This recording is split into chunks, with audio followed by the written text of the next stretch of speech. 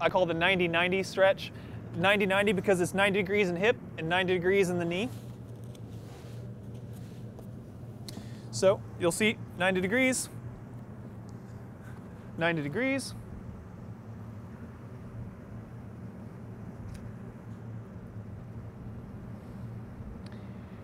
And this is a good way to start, depending on your flexibility of your hips.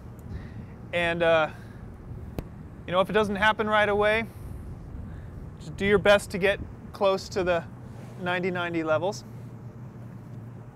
Good. Okay.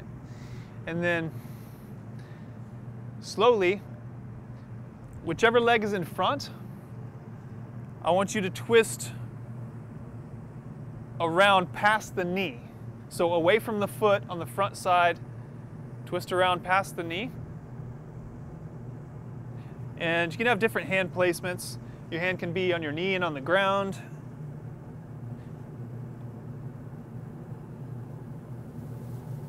Oh yeah, uh, to just get a little lumbar motion there. That was good. Excellent, yeah. So of course, I see a lot of you doing this correctly already, keeping your chest high with a twist.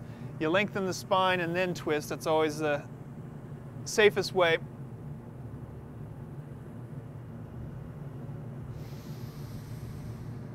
Easing into it, taking a few breaths.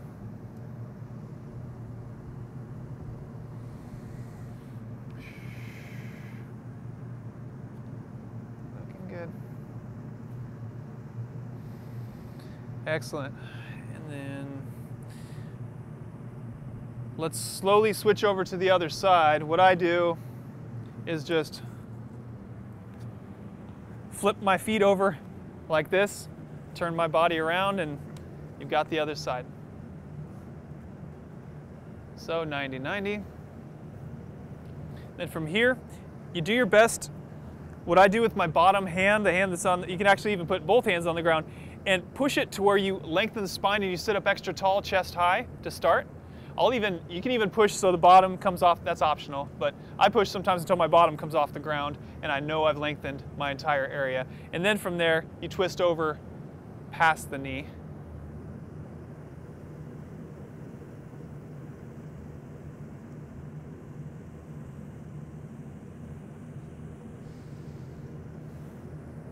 Awesome. So you should feel this twist down towards your lumbar area.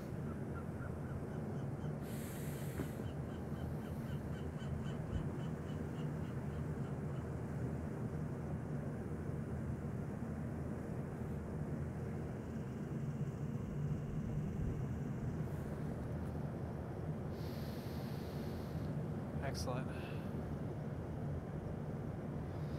And this is always a good setup if your hips don't have a lot of flexibility. This is a substitute for our next exercise, which will be the Chiro Pigeon. So I call it the Chiro Pigeon because it's based off the pigeon pose from yoga, but uh, it's different because I want to do a corrective motion for somebody's hips. Normally the hips have a twist to them, one way or the other. So when you're doing a correction, you need to prioritize one side. And for whatever reason it is, it ends up being the right leg forward on most cases. I don't know if it's the driving or the tilts of the roads or the gas pedal where it is or I don't know the reason why for sure. All I know is that right leg forward is the how we'll be starting and that's over 80% of the cases. So like the 90-90, but what I'll do on this one is I'll take that back leg and slide it back as far as you possibly can without hurting yourself. so back leg goes way back. That's good. Good. And if you're able to, front knee is bent. If not, modify the posture as necessary. And then from here, you do the same kind of motion. What I want to have you do is push off the ground and lengthen yourself taller. And then you twist over the right side of the knee.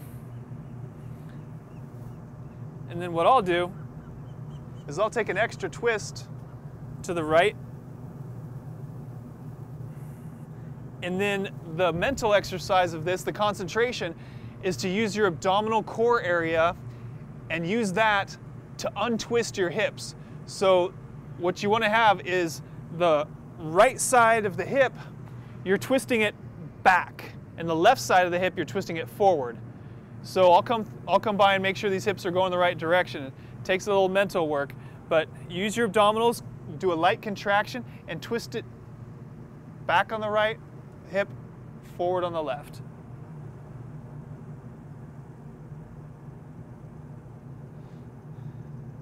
Another part of this, which you can do as early as now, is shift up so your glute comes off the ground and you're on your legs up like so. So that's more of the advanced